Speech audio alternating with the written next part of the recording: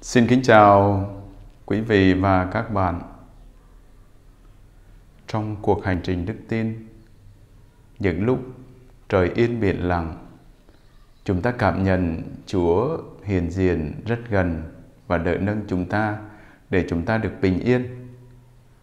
Thế nhưng khi chúng ta gặp khó khăn thử thách thì chúng ta lại tưởng rằng Chúa đã bỏ quên chúng ta thực sự không phải là như thế, bởi vì khi chúng ta gặp gian nan thử thách, sóng gió ở trong cuộc đời, thì chúng ta lại ở gần Chúa hơn và Chúa cũng ở gần chúng ta hơn.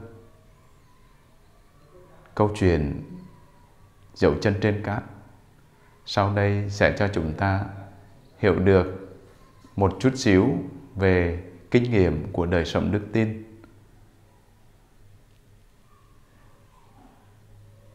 Được linh mục thành tâm viết nhạc.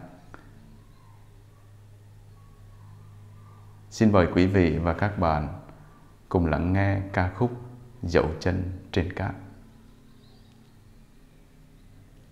đêm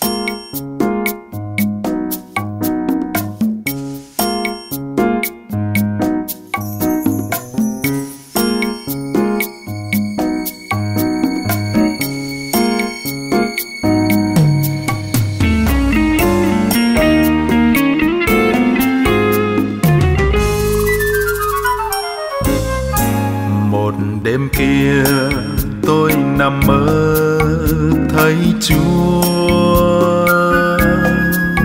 Ngài cùng tôi song hành trên bãi biển hoa. Cùng lúc ấy trên trời xanh đang diễn ra những cánh đời tôi. Mỗi cánh vui buồn đều được đôi dấu chân ghi trên nền cát trắng lòng lâng lâng, tôi lắng nghe tiếng sóng vỗ và xa xa chậm chờn đôi cánh hai âu. Trần sóng gió chẳng biết từ đâu, bông bùng lên khiến tôi hái kinh, quay mặt nhìn lùi. Ô kìa sao tôi chỉ thấy một dấu chân thôi? Hót hoan thắc mắc tôi vội kêu, chúa ơi chúa ơi, sao bỏ con những lúc sóng gió là những lúc con cần đến chúa hơn bao giờ hết? Chúa đã nói với con rằng sẽ mãi mãi yêu quý con, sẽ luôn luôn nâng đỡ con suốt cuộc đời cho đến chết. Bên tai tôi được nghe tiếng chúa nói. Này con bé nhỏ của ta ơi, đừng hoang hôn hay sợ chi. Ta ở đây luôn bên cạnh con, những dấu chân này là của ta đó vì những lúc ấy ta đang vòng bế con.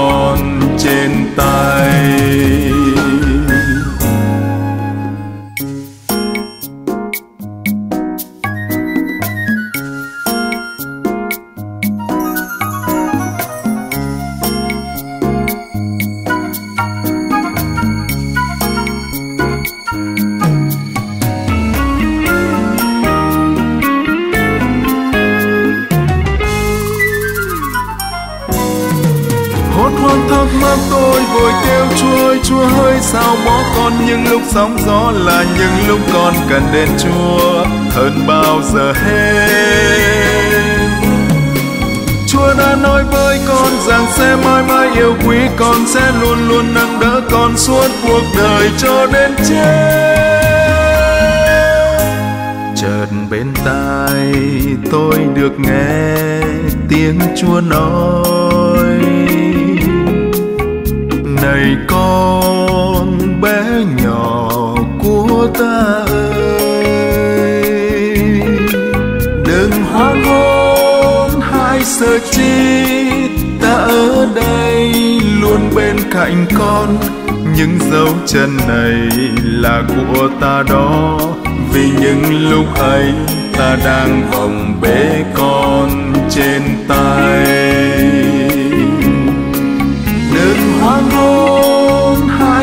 Chi ta ở đây luôn bên cạnh con. Những dấu chân này là của ta đó. Vì những lúc ấy ta đang vòng bế con trên tay.